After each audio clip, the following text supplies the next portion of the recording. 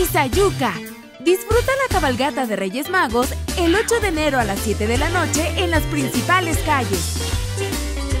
Siente la Navidad cerca de ti y tu familia. Hidalgo, crece contigo.